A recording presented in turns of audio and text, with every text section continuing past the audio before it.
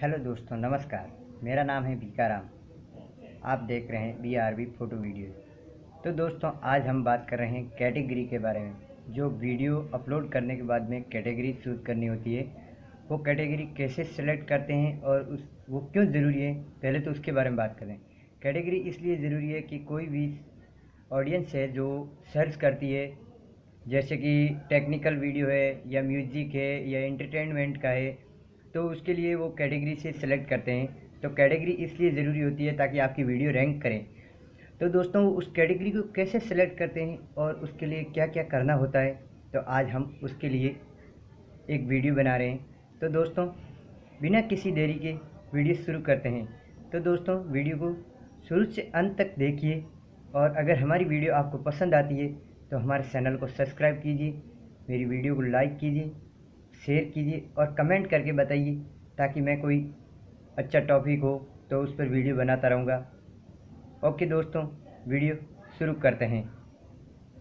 प्रेम रतन धन पायो प्रेम रतन धन पायो रत मिलन की लाया। प्रेम रतन प्रेम रतन धन पायो मैंने प्रेम रतन धन पायो। तो दोस्तों सबसे पहले अपन क्रोम ब्राउज़र ओपन करते हैं। क्रोम ब्राउज़र पर यूट्यूब सेलेक्ट करते हैं।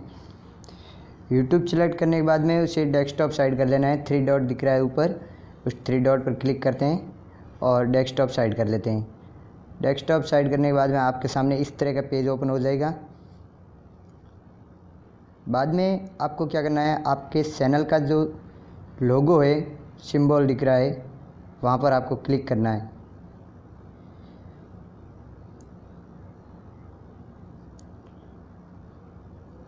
यहाँ पर क्लिक करने के बाद में आपको क्या करना है कि क्रिस्ट स्टूडियो सेलेक्ट करना है। तो मैं क्रिस्ट स्टूडियो सेलेक्ट कर लेता हूँ। ये ओपन हो गया और मैंने सेलेक्ट कर लिया create studio. Create studio select करने के बाद में आपके सामने क्रिस्ट स्टूडियो का पेज ओपन हो जाएगा, कुछ इस तरह का। तो मैं थोड़ा इसको जूम कर लेता हूँ और कोई एक वीडियो सेलेक्ट करता हूँ जिसको मुझे कैटेगरी चेंज करनी है। तो मैं एक वीडियो यहाँ से सेलेक्ट कर लेता हूँ। ये लोड हो रहा है। ये मेरे सारे वीडियो खुल गए। वीडियो ओपन होने के बाद में मैं यहाँ जूम करके आपको दिखा देता हूँ कि यहाँ पर एडिट पर क्लिक करना है आपको। एडिट पर क्लिक करने के बाद में आपका जो वीडियो है वो ओपन हो जाएगा। और नीचे वीडियो के नीचे चार ऑप्शन दिख रहे हैं। आपको एडवांस सेटिंग पर क्लिक करना है। एडवांस सेटिंग पर क्लिक करने के बाद में आपके सामने देखिए कैटेगरी कैटेगरी ओपन हो गया है। जिस कैटेगरी का आपको जो भी वीडियो बना है उस कैटेगरी को सिलेक्ट कर लेना। मेरा वीडियो है जो म्यूज़िक कैटेगरी का है तो मैंने म्यूज़िक सेलेक्ट कर लिया। तो इसी तरह यहाँ से आपको कैटेगरी सेलेक्ट करने के बाद में ऊपर सेव का ऑप्शन है। सेव पर क्लिक कर देना है और सेव पर क्लिक करने के बाद में आपको बाहर आ जाना है। तो इसी तरह आप भी अपने वीडियो चेंज कर सकते हैं।